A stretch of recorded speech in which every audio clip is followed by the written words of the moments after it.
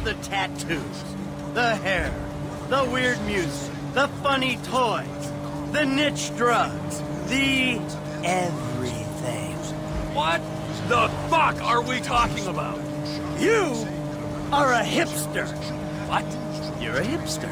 I hate hipsters. Classic hipster